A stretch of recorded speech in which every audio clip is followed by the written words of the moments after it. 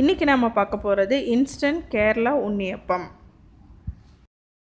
இதுக்கு வந்து ரெண்டு கப்பு பச்சரிசி மாவு அதாவது ஏற்கனவே வந்து நம்ம வறுத்து வச்சுருப்போம் இல்லையா இடியப்ப மாவு. அது வந்து நான் ரெண்டு கப்பு எடுத்துருக்கிறேன்.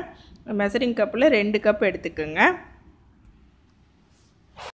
இப்போ ரெண்டு கப் அரிசி மாவுக்கு ஒரு கப்பு வந்து நீங்கள் கோதுமை மாவு எடுத்துக்கோங்க. கோதுமை மாவு எடுத்து நல்லா சளிச்சுக்குங்க. டஸ்டெல்லாம் இல்லாமல் குப்பையெல்லாம் இல்லாமல் சளிச்சிட்டு ரெண்டு கப் அரிசி மாவுக்கு ஒரு கப் அப்படிங்கிற விதத்தில் எடுத்துக்கோங்க.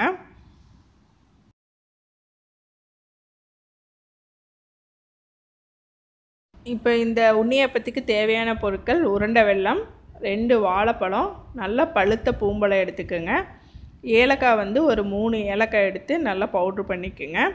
அதே போல் வெள்ளத்தையும் வந்து நல்லா பொடிச்சுக்கோங்க.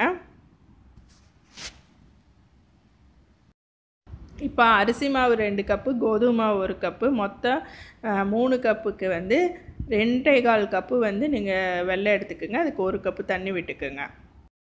இப்போ வந்து வெள்ளை நல்லா கரைஞ்சிருச்சு. ஆற வச்சு வடிச்சிக்கலாம். பாகெல்லாம் காய்ச்ச வேண்டாம். ரெண்டு வாழைப்பழத்தை மிக்சி ஜாரில் போட்டு பேஸ்ட் பண்ணிக்கோங்க. ஏலக்காயை பவுட்ரு பண்ணி வச்சுக்கோங்க. இப்போ வாழைப்பழத்தை வந்து நம்ம பேஸ்ட் பண்ணியாச்சு. தண்ணி விடுறதுக்கு பதிலாக நீங்கள் வெள்ளம் விட்டு கூட நல்லா பேஸ்ட் பண்ணிக்கோங்க. தேங்காய் ஒரு மூடி எடுத்திருக்கேன். இதை வந்து துருவிக்க போகிறேன் அப்புறம் இந்த மாதிரி விஸ்க் ஒன்று எடுத்துகிட்டு நீங்கள் மாவில் கலந்தீங்கன்னா மாவு வந்து கட்டி கட்டாமல் நல்லா ஈஸியாக வரும். அதுக்காக விஸ்க் யூஸ் பண்ணிக்கோங்க. இப்போ நான் மாவில் வந்து வெல்லம் அரைச்ச வாழைப்பழம் தேங்காய் துருவல் ஏலக்காய் பொடி எல்லாம் கலந்து ஒரு அரை மணி நேரம் ஊற வச்சுருங்க. மாவு வந்து இட்லி மாவு பதத்துக்கு கரைச்சிக்குங்க. தண்ணியாக இருந்துச்சுன்னா எண்ணெய் நிறைய குடிக்கும். இந்த மாதிரி ஒரு பணியாரக்கல் எடுத்துக்கோங்க. நம்ம அதில் தான் வந்து ஊற்ற போகிறோம் இது வந்து பிஜிஎன் கம்பெனியோடது அமேசானில் வாங்கினேன் இதோட வெயிட் வந்து கம்மியாக இருந்தாலும் பணியாரம் வந்து நல்லாவே வருதுங்க.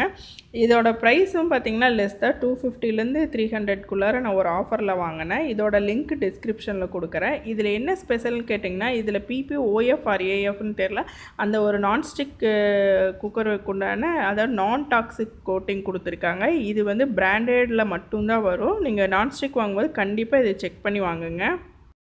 இப்போ ஆஃப் அன் ஹவர் ஆயிடுச்சு. பணியாரக்கல்லை வந்து அடுப்பில் வச்சு நல்லா சூடானதையும் நான் இப்போ வந்து ஃபஸ்ட்டு நெய் விட்டு சுட போகிறேன் ஒரு குழியில் வந்து ஒரு ஆஃப் இது அளவுக்கு வந்து நெய் விட்டுக்குங்க.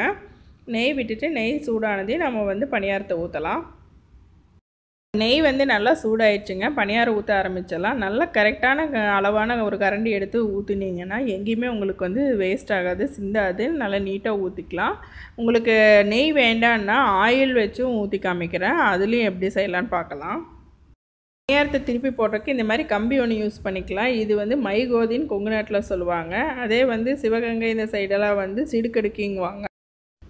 இப்போ இந்த மைகோதியை யூஸ் பண்ணி நான் திருப்பி விடுறேன் பாருங்கள் எவ்வளோ நீட்டாக இதாகுதுன்னு பாருங்கள் இந்த மாதிரி எல்லாத்தையுமே திருப்பி விட்டுக்குங்க. திருப்பி விட்டு நல்லா அந்த பக்கமும் நல்லா வெந்ததுக்கப்புறமா எடுத்துக்கலாம்.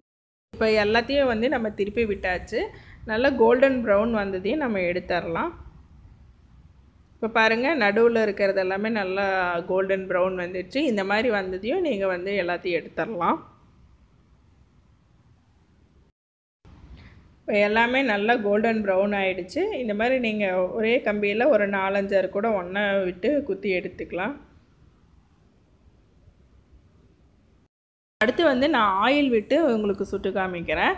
கேரளாவில் வந்து நெய் இல்லைன்னா தேங்காய் எண்ணெய் யூஸ் பண்ணுவாங்க. நம்ம இங்கே வந்து நெய் யூஸ் பண்ணலாம். அப்படி வேண்டாதவங்க ஆயில் யூஸ் பண்ணிக்கலாம்.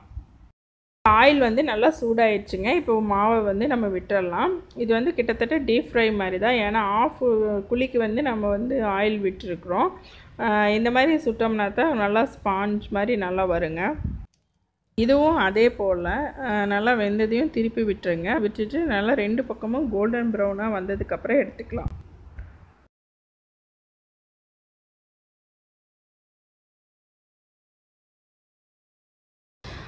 இப்போ இது வந்து நம்ம ஆயிலில் வந்து நம்ம சுட்ட அப்போ இது வந்து நம்ம நெய்யில் சுட்டது. ரெண்டுக்குமே பார்த்திங்கன்னா கலர் சேஞ்சஸ் இருக்குது இது வந்து உங்களுக்கு வந்து கொஞ்சம் லைட் கலராக தான் வரும். நீங்கள் நெய் விட்டு இது பண்ணிங்கன்னா தான் நல்லா கோல்டன் ப்ரௌனாக வரும்.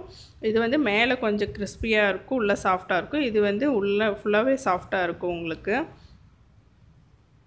இதுதான் வந்து கேரளா உண்ணியப்பம் இது வந்து அரிசி மாவு ஆட்டி அதில் சு புளிக்க வச்சு சுடுவாங்க. இன்ஸ்டண்ட்டாக செய்கிறதுனா நம்ம இந்த மாதிரி அரிசி மாவு கோதுமை மாவு வச்சு செய்யலாம். நீங்களும் ட்ரை பண்ணி பாருங்கள் பார்த்துட்டு எப்படி வந்ததுன்னு சொல்லி கமெண்ட்டில் சொல்லுங்கள்